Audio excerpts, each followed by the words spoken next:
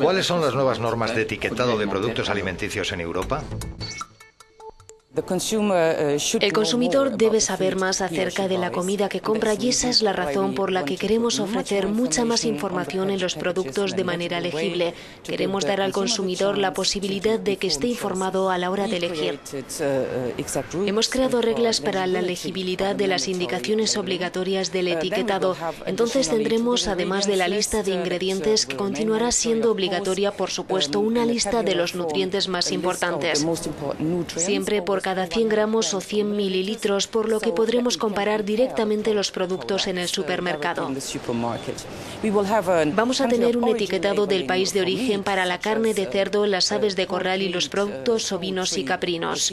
El etiquetado del país de origen lo tenemos desde el año 2000 para la carne de vaca.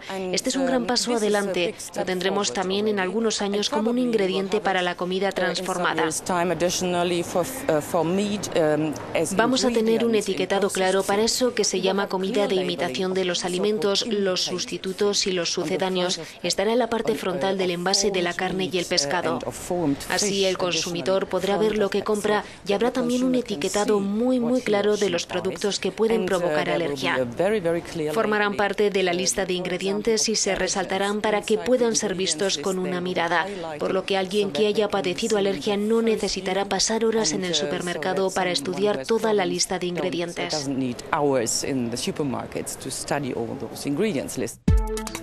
Si quieres también hacer una pregunta, visita nuestro sitio web